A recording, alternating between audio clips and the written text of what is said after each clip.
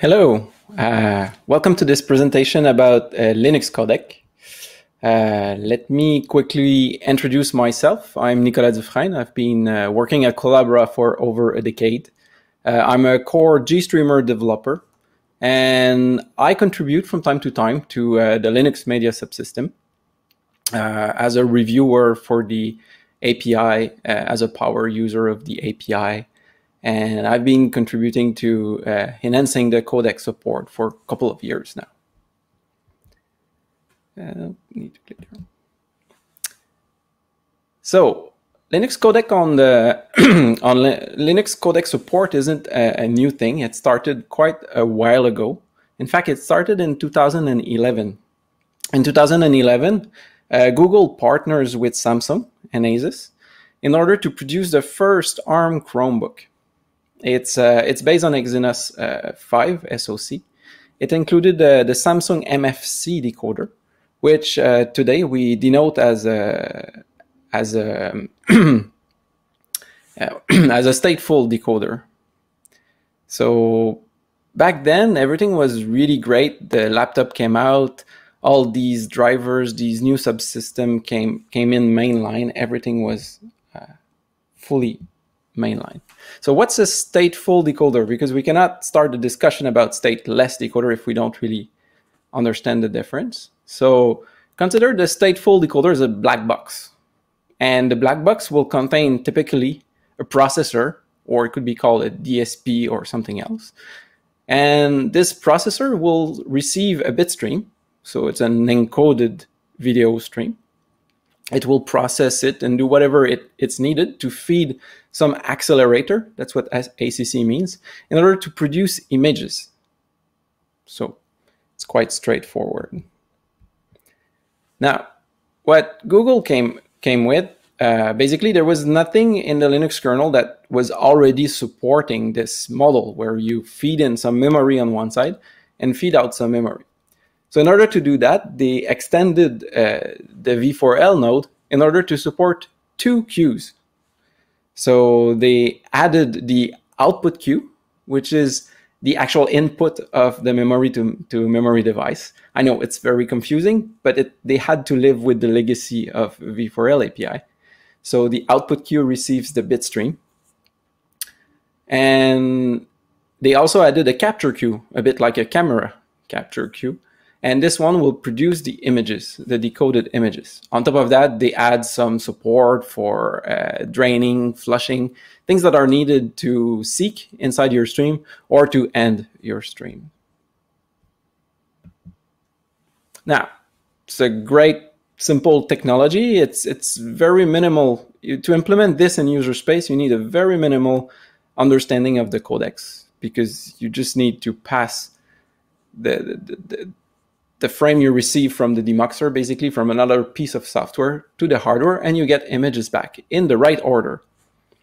Uh, the downside is that pretty much all of these hardware requires a firmware because you need a program to run on the processor, which is often a custom architecture. So it's a proprietary firmware, firmware using proprietary uh, compiler. So it's not very open friendly. And it can be very hard to multiplex. Your ability to run multiple streams depends on the API implemented on that processor and the memory on that processor. So it, has some limitation, but it's very quick to integrate.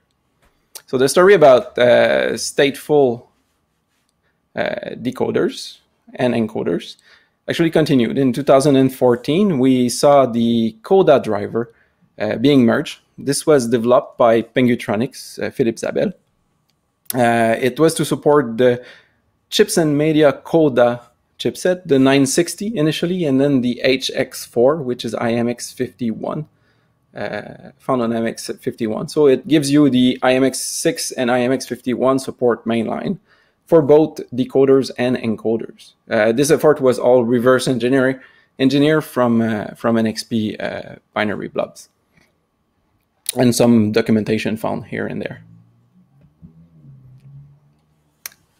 Now the story continue.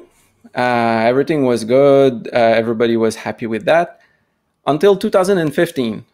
2015, Google started to partner with Rockchip in order to build a second generation of ARM Chromebook. But these ARM, the, the, these SoC no longer had a, a processor with their codec. Instead, they had what we call a stateless decoder.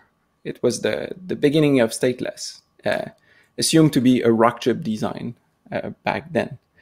So unlike the previous Chromebook, it didn't go as well in the upstreaming side. So even though uh, Google have made great effort to produce, uh, I mean, upstreamable code, uh, it didn't get in right away. So, so that's where they were. Whoops, wrong button. Sorry. Now, to make the analogy, a stateless decoder doesn't have a processor, so it's basically it exposes the accelerators in a certain box with a certain set of parameters. And in order for the user space to drive these accelerators, now you, you don't only have to pass the bit stream, in fact, you will pass a subset of the bit stream. You will have to pass the reference frame that are used in the decoding process, and you, you'll have to pass a fairly large amount of parameters for that frame or that slice to be decoded in order to obtain a picture. And the picture is no longer in the presentation order, so you might have to do some a little more work. Now, some of you may wonder, how is that different from the GPU decoder? Well, the truth is that it's not different. It's the same model. It's, it's stateless. The difference with your GPU is that uh, the is that the accelerator is actually exposed through the command stream. So you send a command to a coprocessor, and that coprocessor will uh, take this command and feed the registry, the registers for your accelerator. So there's an indirection through your GPU, it, and this command stream is a bit stream, and it has to be crafted. And traditionally, the for for GPUs in Linux, we actually use user space in order to construct the bit stream. So it's different in that in that sense. And these API would be exposed through user space driver, uh, VA API driver, VDPAU driver, or on Windows with DXVA2 driver, or uh, with with NVIDIA would be NVDEC driver, which is cross-platform. So it's slightly different. Now, could we have integrated those stateless decoder as being GPU?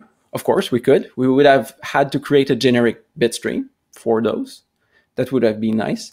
But then we would have had to deal with the fact that we have only one really suitable API, which is VA API, which has some limitation.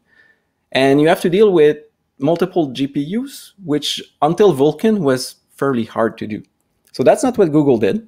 And they were in 2015, so Vulkan was not very, very big back, back then. So they decided to extend the stateful decoder model. So same, same model, output and capture, and add a set of controls to pass the parameters. So basically the, the, the fact that V4L has a queue of buffers and is aware of the buffers will allow to symbolically refer to the reference frame. So you don't need to queue them. So you can put that in your controls.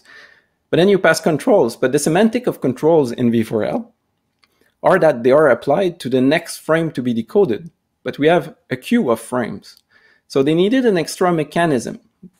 And that's where they came out with the request uh, API. So the request API is a way to queue uh, parameters, controls, and uh, bitstream buffers for a specific request. So they are decoded, they are handled together by the, by the processing. Uh, now the request API was meant to be used also for cameras. We'll see where it goes. There's nothing implemented yet in this regard. So it was added to the media controller API. So we had to place our VPU, our M2M inside a media controller with the nice addition that the media controller has a topology. So there's now a way to describe the functions of your hardware, which make identification of your memory to memory driver much easier. Uh, uh, just to compare with the stateful decoder, we would look at the formats and try to guess if this is a decoder on an encoder or a color transform or a scalar. While with the topology, we can navigate the topology and we'll find uh, a node which has a function, and this function is decoder, which make things uh, much simpler. Now, wouldn't be complete understanding of stateless decoder if I don't give you an example of, uh, of, of, a format that has been decoded. So I, I took H.264 uh, because it's fairly complex, but it represents well the, the work that you have to do in user space in order to handle those, those, those codecs. So H.264. H.264 works with sequence of NALU. So the, a unit of transmission is a NALU. And these NALU have different functions. So just a couple of well-known NALUs. The SPS, which is the sequence parameter set. Uh, this is set of parameters that you need to carry on that you will use for multiple pictures. And then the picture parameter set are extra parameters that you will need during the decoding, both in user space and by the accelerators. Then you got the slices. The IDR slices are slices that do not refer to other uh, decoded pictures or the I slices, but I, I picked the IDR. Know, let's not get into the detail for that, but IDR and I slices. And then you got the P slices, which are slices that will use previously presented uh, pictures in order to decode themselves, and the B slices, which will use pictures that will be decoded, that, that will be presented in the future or and in the past actually to decode themselves. So they have both uh, past and future uh, references. How does it work in practice? Basically, you decode the, the, the B slices later than they are presented. It means that the decoding order differs from the present presentation order. So there's a whole specification and a process to reorder the, the, these frames and to present them uh, at the right time. Now the NALU can be uh, streamed in two formats. So you got the start code, the Annex B uh, format. With the start code, you have uh, three bytes, 001. It's a pattern that you can search inside your binary in order to find the locate the, the beginning of a, of a of a NAL and to start your parsing parse processing. So you can start from any random point in the stream, and it's quite suitable for TV streaming over the air where you actually join the stream at any moment. And you got the AVCC format, which instead of this start code, we actually announce the size of the following slide slice. So if you want to walk over slices, you can actually skip by size, which is much faster and much more efficient. And this is used for storage like ISO MP4 or uh, Matroska.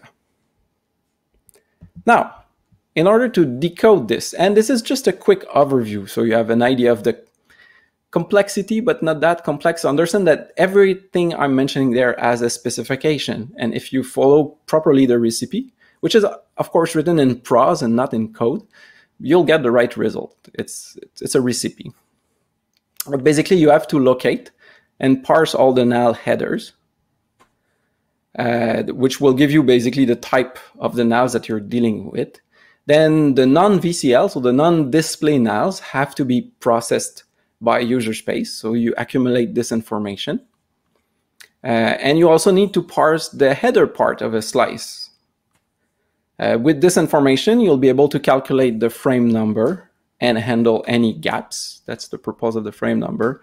And calculate the picture order count, the POC and the PICNUM, which is used in the reordering process and the referencing process. There's a lot more, but this is just an overview. Now, some decoders are slice-based. Think VA API or Cedrus driver. We'll come to that later. And some are frame-based. If they are slice-based, you need to give a lot more information. So you need to prepare some reference list uh, in advance as the hardware won't do it for you. Then at that point, it's the right moment where you can actually program the hardware. So you can fill the SPS, PPS, decode parameters, slice parameters. That's V4L specific. And uh, you can also uh, prepare the finalized uh, reference list. So we call them the modified reference list or L0 and L1 and pass that to the hardware. And the hardware will decode the slice. And when that is decoded, remember it's out of order. So now you can do what we call the DPB management so display picture buffer management, which is a process, another recipe that will give you which buffer is ready to be outputted to your screen. And that's about it. That's what you have to do in every single software. Uh, on V4L side, though, it's a much simpler API because everything is ordered. So you allocate a, request, which is a file descriptor. Uh, you set per frame slice or uh, per frame or per slice parameters that you associate with that request. So when you set the control, you pass the request FD. You queue the bitstream buffer. Again, you pass the request FD. And then you queue the request itself. That's an API. Queue the request. And then you can wait on that request for this job to be done. And you're good. You can continue with the next decoding. It's a bit simpler than the, the traditional V4L approach. Uh, but as I said, this didn't land immediately and time passed. So now we went from 2015 to 2016. There's another stateful decoder, the MediaTek VPU, that got added with a couple of formats, with the particularity that this one only produced tile format, which is a, a new era. You can probably talk with Neil Armstrong about the subject. It's a it's a whole subject for a talk, so I'm going to skip this bit. In 2007, even though the, the driver started a while back, uh, the Venus driver for a Qualcomm chipset actually landed. And it landed with both uh, stateful decoder and stateful encoder. And uh, as of today, it's the most capable driver with the, the largest list of codec uh, uh, supported. So pretty much everything you would need is supported there. But as for the upstreaming of the stateless, it was pretty much stalled. Uh, the reason for this stall was, I mean, it was normal. People were, were actively working on it, but they had to settle on the request API. And there was a lot of uh, indirection. At some point, the request API was called job API, and then it came back to request API, and some detail had to be uh, tweaked. And all this was done uh, by maintainers that didn't have a very large knowledge of codecs. In fact, they had pretty much no no knowledge of handling a low-level codec. So they had to learn this, and that that's what takes most of the time to get to get enough knowledge by the maintainers to be able to be confident that this is the right thing to merge. And there was only one hardware that was supported, the Rockchip. And to make it worse, there was not yet a formal specification, even though there was no formal specification to handle the, the stateful codec. And that got fixed meanwhile. But that was quite a problem because uh, th that was a problem for consistencies and, and portabilities of the solution. Now, everything started again with Bootlin. So Paul and Maxime from Bootlin came and, and, and created this Kickstarter with the goal to uh, make a mainline driver for the Allwinner VPUs. So, so what they end up managing to do, managed to do actually is to uh, help finalize the request API. So that got finalized and merged upstream. They they actually managed to get the the first Cedrus driver. So they call the driver Cedrus. It's the Allwinner VPU. It's named after the, the, the proprietary stack they were actually reverse engineering.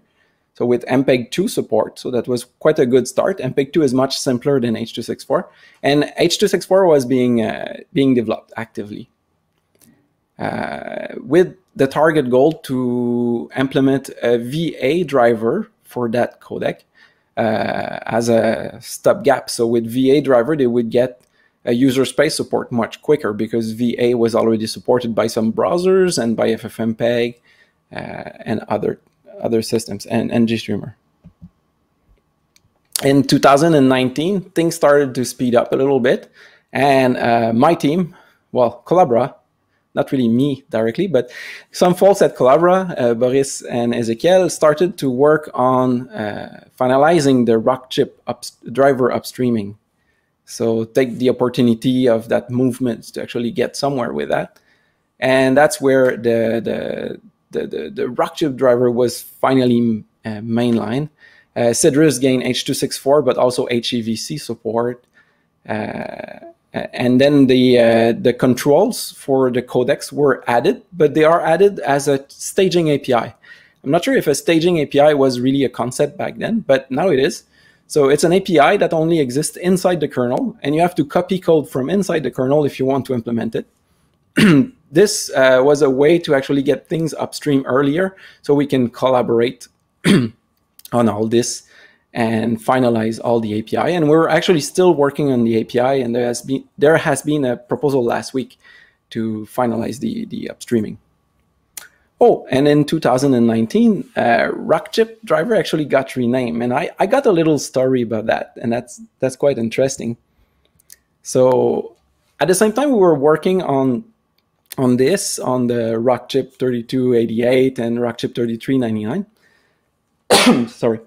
So Chris Healy from uh, Zodiac, uh, which is now Safran, actually uh, was talking to me about the, the new uh, in-flight entertainment system based on IMX8M uh, device that they were coming back, and he was saying that he, he, was he was going to join with his team, well, his team being uh, Philipp Zabel at Pengutronix, the, the, the the the group of people working on stateless codec, and that he knew that the the codec was a Hantro G1 and a G2 there. So I was a bit curious. Uh, a bit later, he sent me a, uh, an evaluation kit so I could try it out and have just play with the, the IMX8M quad, which was brand new. And uh, what's cool with NXP is that you can actually go on the website and in exchange of your email address, which can be annoying, but yeah, in exchange of your email address, you actually get the specification for the board. And sometimes some bits of the specification are missing. But the codec was not missing, it was there. And I also had the specification for the Rockchip, and I started comparing side to side the registers. And what I found out is that, well, it was the same hardware, just kind of an older version on the Rockchip. So uh, about the same day, I wrote to Philipp Zabel, and I think I told him, "Oh, maybe you you should speak with Ezequiel and Boris. They might have upstreamed the driver you're you're, you're going to write." And that's where it started. And IMX8M actually arrived very, very quickly afterward, as most of the work was there. Little, uh, if you're curious about what Hantro is, so Hantro was, uh, it's no longer, a, a, Finnish company producing codecs that got bought by On2. And On2 got bought by Google. And uh, while at Google, the On2 folks actually produced uh, the well, the very well-known VP8 and VP9 royalty-free codecs.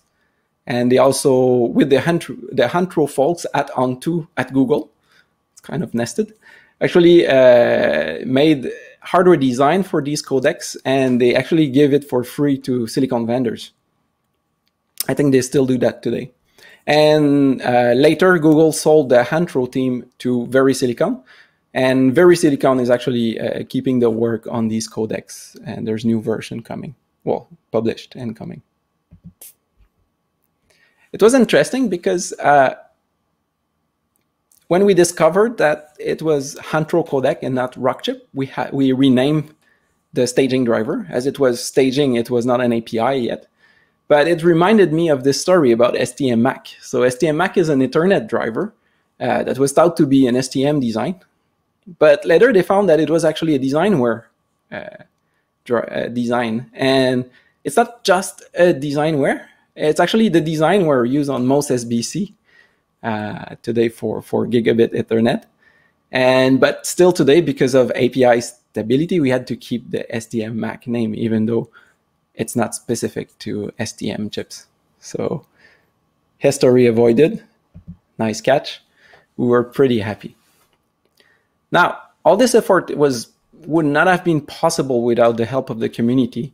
So at some point in 2019, perhaps a little earlier, I'm not too sure of the dates there, uh, but uh, LibreELEC and Kodi uh, contributors actually came by and they produced a port of FFmpeg that supports the uh, the those stateless codec. The the port is not mainline yet because the FFmpeg people would like the uh, the API to be final before they merge it into the trunk. But you can download the, the fork on Kwiboo's uh, Git repository.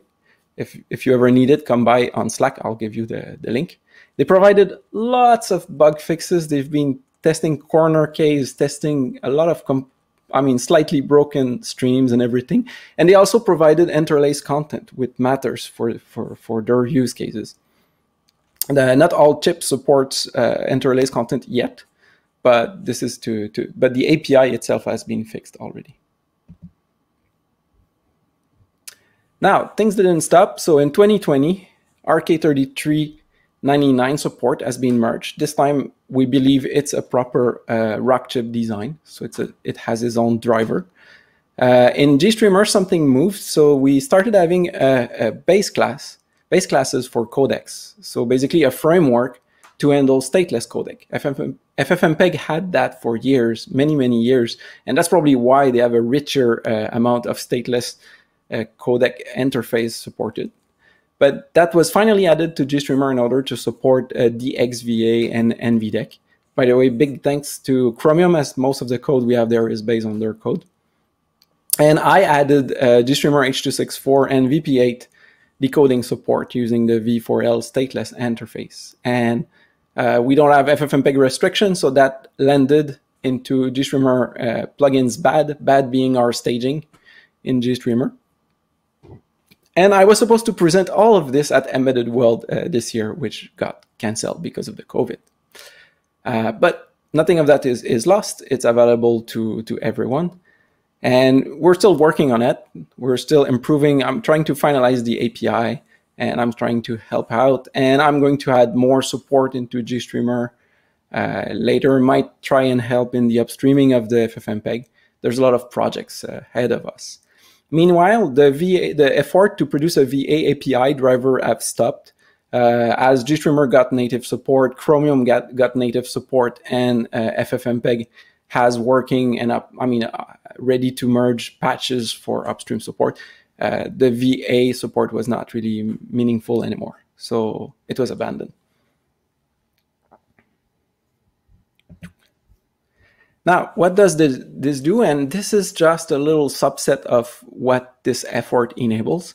Uh, it enables actually uh, using blob-free, doing blob-free decoding on hardware. So notably, uh, on the left, you can see the MNT Reform laptop, which, an, which is an IMX8M uh, la laptop.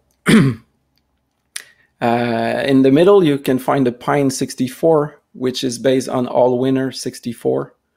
A64, sorry, which has the Cedrus uh, driver. And on the right, uh, the Purism Librem 5 phone, which is also an IMX8M phone. And all these projects that I selected uh, actually aim at, at having uh, royalty free, well, not royalty free, but uh, actually blob free uh, OS for their platform in order to better support open source. So now it's showtime. I have a live demo for you. Uh, it's going to be a screen sharing. It's a bit flicky to get the screen sharing, so I might do a little back and forth, but let's hope it's going to work. I'm going to present you this little board. So this is uh, made by uh, Libre Computer. I really like what they do. Uh, they basically invest their personal money into making very cheap integration of various SOC. This SOC is the uh, Allwinner H3. So I'm going to demo demonstrate GStreamer running stateless codec with latest kernel, latest GStreamer and everything on this device. And because I could, I only have one artifact of my embedded world demo, I'm going to play back a video of my embedded world demo in there, which I'll explain. So let's try and set up the, uh, the screen share now. Oh, wait, I need to plug this in. So as it's doing TFTP boot, I'm going to plug a little Ethernet. Um, in order to show you, I'm using a USB HDMI capture card over here. So I'm going to plug the HDMI, that. And when the screen sharing is on, I'm going to put some USB power in order to boot it up. So let's get this sharing working. It's a bit of a dance.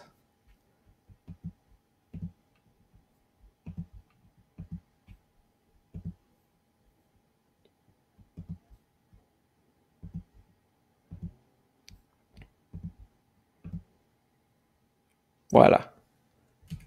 Hope it works. So now, let's uh, plug this in so we can boot that board. Let's hope it's gonna work. Oh yeah, it boots, great. So on this board, I'm actually running uh, uh, Fedora uh, rootfs. Why Fedora? Because uh, this is the same as I use on my PC. Uh, so I have the tool to manage uh, the rootfs. I can do DNF for the platform on my main PC. Let's log in. Oops, if I turn on the little keyboard, it's going to work better. There we go. Super secret password. Now, as I said, I'm running uh, quite a recent kernel, so it's a 5.7 RC2. I'm not sure which day it was. Uh, I think I got one patch which I've submitted to the, the mailing list, a little bug in Cedrus that was affecting GStreamer, but not FFmpeg. And now I'm going to load uh, GStreamer on install. So in GStreamer a, a, has a build tool called GST build because GStreamer is made of multiple repositories, which are hard to manage. So GST build is an aggregator based on Meson in order to build the integrity of GStreamer. And it has some facility that, that allow you to run uh, in place uh, the plugin. So this little command will load a huge environment, which will go fetch the, the, the plugin shared object where they are in the build tree instead of having a single directory like you will. It takes a bit of a bit of a while because there's a lot of file and we're over NFS. Uh, I don't have any graphical uh, setup, so I'm going to use a little command line player called GST Play. Uh, uh, I need actually playbin 3 for the negotiation to work properly with KMS. Uh, there's some limitation of playbin 2 there and uh, that will be displayed over KMS sink. Uh, and on this device, the and most newer device actually, the video layers is an underlay, so we don't see it by default. Uh, but the Allwinner is very capable. You can actually uh, flip that over. So I changed the Z position to two in order to bring it up front. Now it's pre-rolling. So it means that it's preparing, is, is buffering in order to display the frames. There we go. So let's pause there. Uh, on the left, that's the monitor of a streaming server that is uh, that is demoed there. And in three different protocols, we're actually streaming to an IMX8 evaluation kit, which is on the second screen. Over here, this device, this is actually, uh, uh, uh well, Zodiac, but Safran actually next generation of in-flight entertainment device which we uh, embedded a Weston demo. And uh, we're demoing actually uh, dragging around some underlays. So there's two hardware underlays and one GL overlay being used there that we can drag, drag around and, and do so some smooth stuff there. So voila, that's it for the demo. So let's stop this share. So now it's uh, question time. I'll try to, I got, I think I got five minutes of question left, something. So I'll try to answer as many as I can. And uh, let's see how it goes. So I need to click on this and publish. So let's take the first one. Yes. So what exactly is an accelerator? Um, what we use as a term for accelerators is a piece of hardware that actually uh, doesn't do the entire work. So it's it only accelerates some of the decoding. But in, in, in case of the stateless decoder, you still need to go through the decoding process. So you, you implement, uh, I would say, a third of the specification of the decoding. And the accelerator with the parameters will handle mostly the mathematical part of the processing. Um, I don't know. I don't know if accelerator was fully proper for this one. Uh, if you consider the the one that provides you algorithm algorithm for encryption, that that's a better match for accelerators. But yeah. Next question. Uh, do we also get a performance benefit with stateless? So uh, Yes, but probably not the way you think. So when you use a stateless decoder, you have to do a lot more work on the processor. So uh, you actually wake up the main processor more often. So in some ways, it could be considered a performance degradation. But with the stateless decoder, you actually have a tight, a finer control of the decoding, and you can reduce the latency introduced by those firmwares, which usually will implement uh, the proper decoding model, which adds some delays to do perfect timing at the output. So yes, you can gain some performance there. And if you have a chip like the Cedrus on the Allwinner, which is slice, slice based, you can enable slices, which is basically uh, splitting the, the, the, the, encoding in multiple region. Well, it's a contiguous, in H.264, it's contiguous set of macro blocks and and you can decode them as they arrive over the network. So by the time you receive the last slice, the remaining time, the latency, is only the uh, it's only the, the time it takes to decode the last slice. So you actually win in latency. Uh, this is not something I've tested yet or I've implemented yet, but this is definitely a goal in there. So you can gain in uh, latency, especially for streaming. Uh, simple question there. Will the slide be available online? I will be uploading it on Sched uh, right after. So if you have Sched, just go there. You'll be able to get the, the slides in PDF form. Uh, this is a test. these are masked. This one. Oh, another question. No, same question again. Did I go over all the question already? Yeah, I think so. Oh, there's a new question.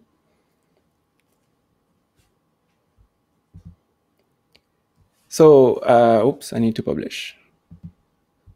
Yes.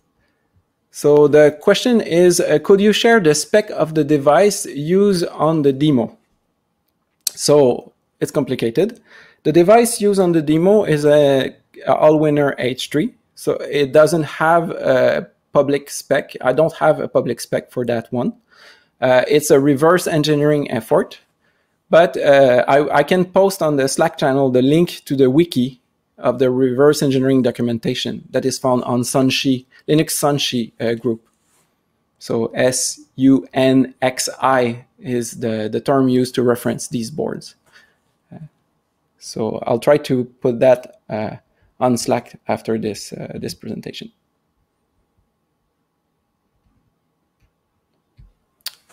And voila, I think that's it. Any other questions?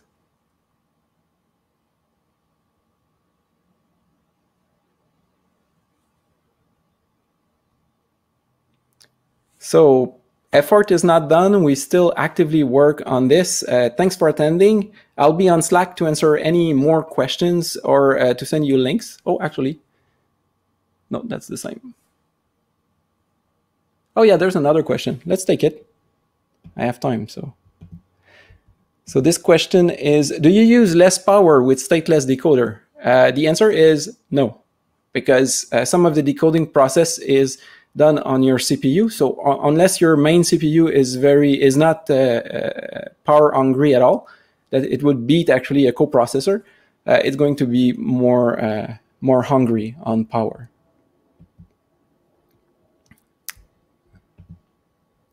Then this one is a GStreamer specific question. So the question is, can a V4L H.264 deck output the video with without copy to GPU memory for color conversion? So first thing in that question that I need to correct is the differentiation. So V4L H.264 deck is the decoder for stateful decoder, while uh, we we use actually a different name uh, for the, the state less decoder is going to be V4L2SL H264 deck in order to differentiate them. Uh, but the answer is yes, it's already able to zero copy uh, to GPU. It's actually what is being demo both on, well, on the demo I've showed you, I'm displaying to KMS, and on the demo I showed you inside the demo, I'm displaying to the Etnaviv uh, driver, the, the zero copy buffers. Now, there's a limitation with Etnaviv. It doesn't support very well uh, NV12. So we use actually the PAS processor on the, the Hantro VPU in order to convert to YUY2. So if your codec has a POS processor that can do some other memory layout or other memory format, uh, it, it, it, can help and you can display there. And we're also looking forward adding some uh, modifier and compression support. But for that, we need um, we need support uh, for modifiers in V4L. Oh, okay. Another question. How well does it support decoding multiple stream in parallel? Are there priorities in V4L stateless? So basically the question is how do we parallelize the decoding in a stateless decoder? So the stateless decoder is stateless hardware wise. So each uh, instance of the V4L driver has a state, but the hardware can be multiplex because it's fully stateless. You ask for a frame. Uh, and how this is multiplex actually is uh, very simple. Uh, there's a lock on the usage of one uh, decoder instance. If there's multiple, there's going to be multiple lock, but that's not supported yet. And the Linux scheduler will will decide who's uh, who has the priority to take uh, hold on that resource. So it's it's scheduled by the same scheduler that schedule your process. So if you have a higher priority process, it will win the times uh, the timeshare on the, the decoder. So that's the current implementation. This is of course uh, something that could evolve and improve. And the overhead of scheduling is uh, fairly. I mean, it's about none because uh, it's it's just it decodes one frame. So you switch from frame to frame. It doesn't matter which stream this frame is from.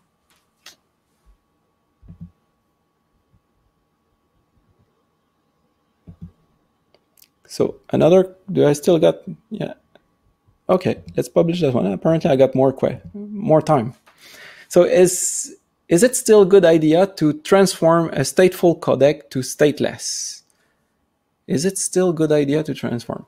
So it's a bit a question for a purist because uh, if power efficiency is your goal and you don't have any problem with the firmware you're using in terms of multiplexing streams, uh, you don't gain anything by going to stateless. But if uh, if the firmware is not good, it's not doing a great job at multiplexing, and power efficiency, I mean, it's, it's very small, so it's not like your main interest. Uh, you can gain from going to stateless. First, you, you, you remove the dependencies on a pro proprietary blobs and probably get away, uh, remove some of the bugs that, that you cannot fix because they're in the blobs. Um, and, and you gain in flexibility, definitely gain in flexibility. Uh, now, is it always possible? It depends on the architecture. Uh, I'll give you an example. Raspberry Pi has a new HEVC decoder, and this HEVC has been exposed as stateless. There's no driver yet, but we know that it's a stateless, and there's a, a reference code that has been published. And most decoder in the Raspberry Pi are likely similar, so they could have been exposed to the main CPU. But right now, most of the, the, the decoders are exposed through uh, another processor. But some of the decoder are not accessible through the main CPU. You have to speak to the coprocessor. So converting them to stateless would mean that you have to write a new firmware that exposes them as stateless. And this is quite a lot of overhead in, in the process of dealing with stateless, but it would resemble a lot uh, of what GPU do because those accelerators are on GPU and you speak to them with a stateless uh, bitstream, stateless protocol actually uh, to your GPU GPU card. So yes, there there is po possible gain there.